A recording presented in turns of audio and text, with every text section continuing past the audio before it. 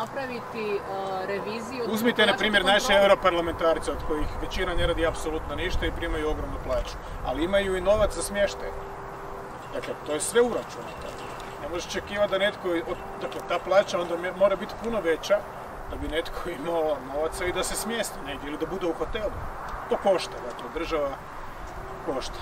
Bi li trebalo uh, provjeriti dakle, kriterije, bi li trebalo napraviti reviziju, pojačati neku kontrolu da se vidi kako se dodjeljuje, ne dodjeljuje, je li, to, je li taj dio uh, dovoljno dobro pokriven? Gledajte, imate samo jednu osobu za sada koja je to pravo brutalno zloupotrijebila, ukrala ga praktički i koja uživa podršku premijera Andreja Plenkovića, predsjednika HDZ-a i još jednog dijela stranačkih ešalona. To.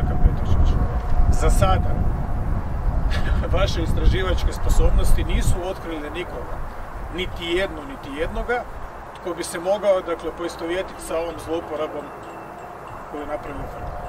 Koji se išao, dakle, prijavljivati prebivalište u rodno mjesto babe i. Nema nikoga, dakle, samo, samo, samo malo. Dakle, samo Frka Petrišić.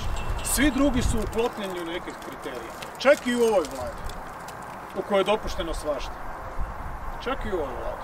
Dakle, čak ni ovdje, ne znam, Mariću ili Aladroviću nije palo na pamet da se prijave. Možda sam uzeo krivo primjer. Mi- Mislim, da nisam, ali nije ni bitno. Dakle, točno je, potpuno je jasno dakle, kako ljudi to čitaju i kako doživljavaju. Ako negdje živiš daleko, imaš stan u Zagrebu.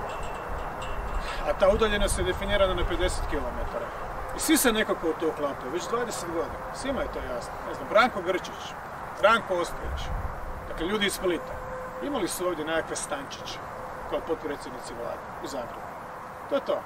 Ali recimo Milanka Opačić, ja, mi ne.